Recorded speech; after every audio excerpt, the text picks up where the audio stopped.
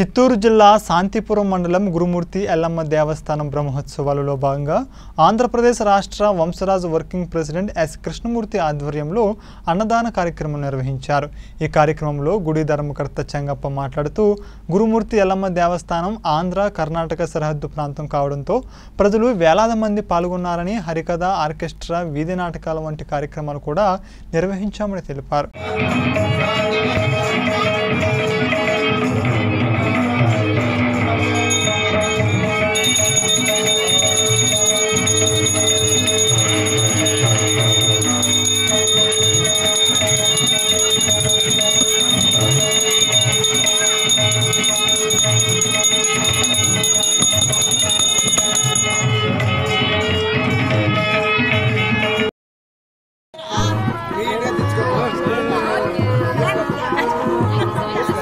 chelo.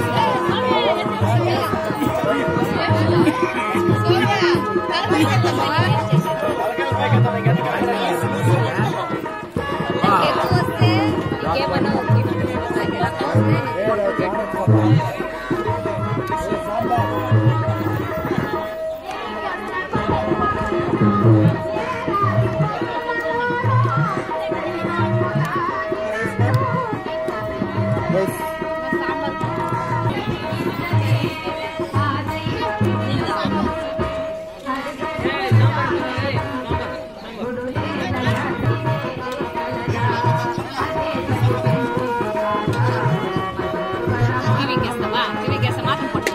Essa lugar.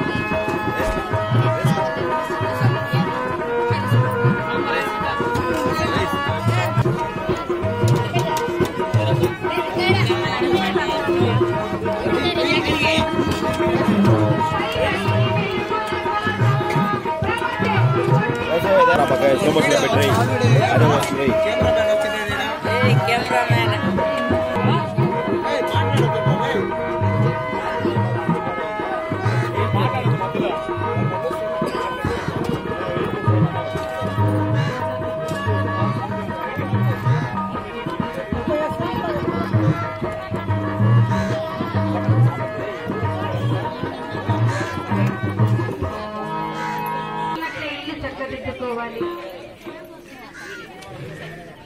బుద్ధైనా ఉండాలి పొద్దైనా ఉండాలి అని పెద్దలు చెప్పారు. పొద్దు అంటే ఆ పొద్దు కాదు సూర్యుడు కాదు. మన పొద్దు మనలో ఉన్నటువంటి మేలుకోవాలి. ఎప్పటికైనా పోయిన వారు ఎంత గుడి కట్టి తొంభై ఆరులో ప్రతిష్టాపించడం వస్తుంది కాకపోతే అమ్మవారు మాకి మా యొక్క నిద్రలో కనసులో మమ్మల్ని వచ్చి నిద్ర లేపించి ఒక గుడి కట్టియాలనేసి బెంగళూరులో నేను ఉంటే అమ్మవారు చెప్తున్నారు. కాకపోతే అదేవిధంగా ఆ అమ్మ ఏం తెలిపినాం అదేవిధంగా గుడి కట్టి తొంభై ఆరు ఇంకా ప్రతి సంవత్సరమును అమ్మవారికి పూజలు నైవేద్యాలు ప్రోగ్రాంలు హరికథ డ్రామా. అదేవిధంగా అగ్నిగుండము పచ్చిగరిగా పల్లక్కి అన్ని రకాల ప్రోగ్రాం చేస్తూ అదేవిధంగా కర్ణాటక తమిళనాడు మన ఆంధ్ర మూడు రాష్ట్రాలని ఇంకాను వేళ్ళ వేల మనిషి వేల లెక్కతో జనాభా వస్తూ ఉంటారు. అమ్మవారు పౌరపుల్లైన తల్లి శ్రీ గురుమూర్తి ఎల్లమ్మ. అదేవిధంగా ఇక్కడ అమ్మవారికి ఇంటి కులదేవుడు అనేది అన్ని క్యాస్ట్లకు ఉంది రెడ్లకు ఉంది. మా సీలకు ఉన్నది. ఇంకా ఇప్పుడు మన పిచ్చిగుంట్ల వాళ్ళు వంశరాజులని ప్రతి ఒక్కరికి ఉండాలి. కాకపోతే అందరూ కలిసి కట్టగా ఇక్కడ అమ్మవారిని కొలుస్తూ పూజ చేస్తుంటాం. అన్నదానం ఈరోజు పొద్దున్న ఇంకా చేస్తూ ఉంటారు వంశరాజులు అనేసి. కినమాకనపల్లి గడ్డూరు సోగుడుపల్ల. వాళ్ళు వంశరాజు అనేసి పెడుతున్నారు. నిన్న జరిగింది బెంగళూరు నారాయణప్ప అనేవాళ్ళు ప్రతి ఒక్కరోజు కర్ణాటక వాళ్ళు అమ్మవారికి పల్లెకి చేపిస్తున్నారు. ఈ విధంగా ఒక్కొక్కరు గురి చేస్తూ ఉంటారు మేము కూడా అన్ని రకాల వాళ్ళకి సహకరించి వాళ్ళు వచ్చి ఎన్ని చేస్తామంటే మేము తెలుసుకొని అన్ని రకాల సహాయం చేస్తూ ఉన్నాము. అదేవిధంగా అమ్మవారు ఎవరు చెప్పాలంటే ఒక రకంగా చెప్పాలంటే అన్ని రకాల జనాభా వచ్చి ఇక్కడ చూసుకొని వచ్చి అమ్మవారిని కొలిసి వాళ్ళు మొక్కొని పోయిన కోరికలన్నీ తీరుస్తూ ఆ అమ్మ ఇంత ఎత్తుకో ఇంత జనాభాని ఇంత మందిని సాకుతూ చూస్తూ ఉందంటే నేనంతను నమ్మ నాకే నమ్మగలుగుతూ ఉండేది. నేను కూడాను ఒక రకంగా నేను ఇక్కడ ఇంకా బెంగళూరు పోతా ఉంటే బెంగళూరులో ఉండింది.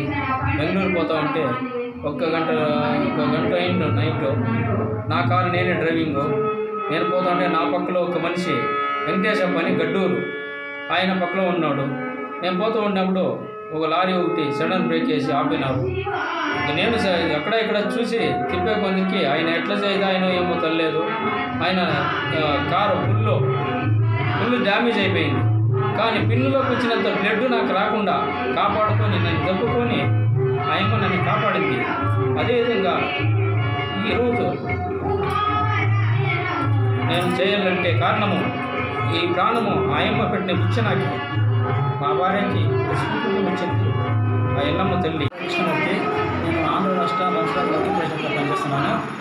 ఈ సంవత్సరం ఏదో మా అన్నదమ్మ సహకార సహకారాలతో నేను ఈ అన్నదాన కార్యక్రమాన్ని చేపడుతున్నాను అందుకు నాకు సహకరించిన మా అన్నదమ్ములు మా పెద్దలు మా తమ్ముళ్ళు మామగారు కానుండి సోడవల్ల కిరమానపల్లి గబ్బూరు గ్రామస్తులు అందరూ సహకరించినారు. ఇందుకు తోడుగా మా అన్న ముఖ్యంగా మా తల్లిదండ్రులు కానీ నాకు చాలా ప్రోత్సాహంగా ఉన్నారు